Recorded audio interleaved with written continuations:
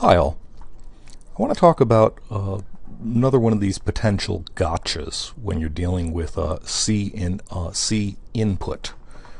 Um, so here I have a real straightforward, simple program.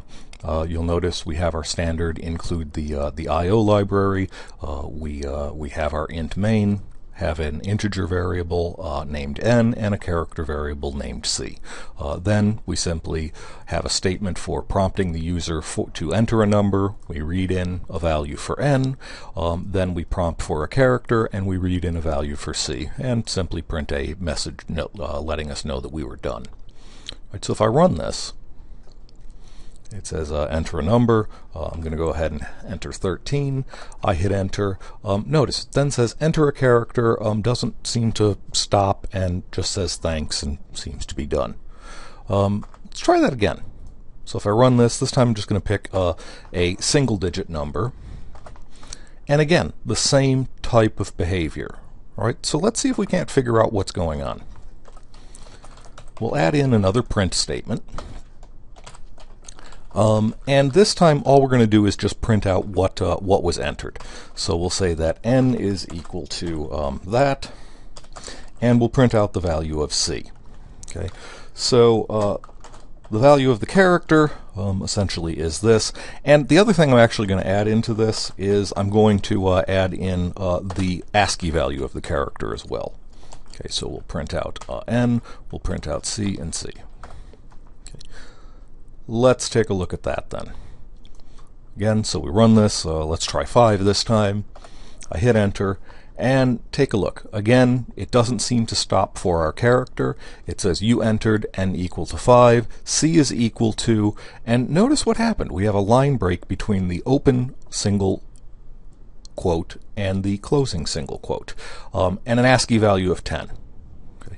If you take a look here, notice all we have in between those single quotes is the character itself. We don't, we haven't hard coded in um, a uh, a line feed, uh, a new line character. We don't have the backslash n.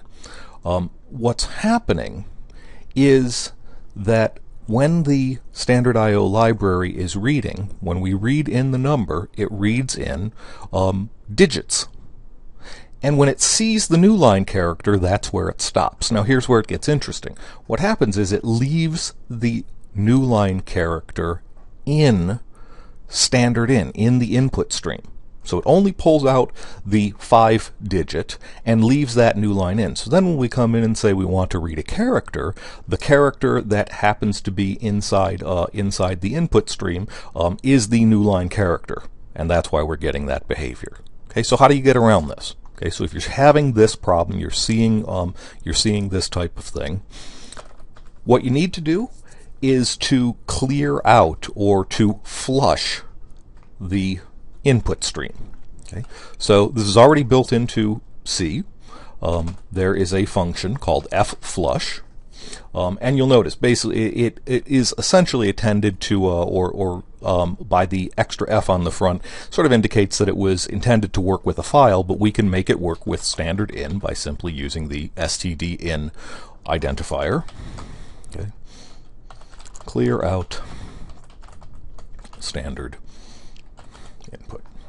Okay. So this will throw away anything that is still sitting inside the uh, inside standard in. Right, let's try it now.